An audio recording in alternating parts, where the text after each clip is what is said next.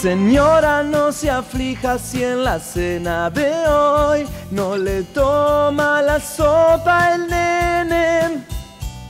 Puede amenazarlo esta noche con ver la cara de la mona Jiménez.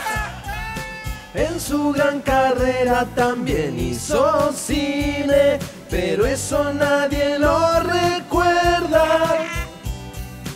Hice unos bolos trabajando de extra en gorilas en la niebla. Y ahí, el día que nació, pobrecitos los viejos, para no asustarse lo miraban de lejos.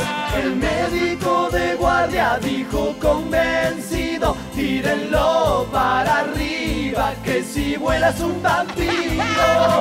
No comparto lo que dicen estos guasos. Me parece que me tienen celos. Puede ser, ¿eh? Ustedes son vampiros porque hace ocho años le chupan la sangre a Marcelo. Viva Badi, mona, si sentís que a vos la selva te llama. Yo te presto mi liana. Ya me voy Marcelo, un saludo a Paula. Te vinieron a buscar, anda entrando en la jaula.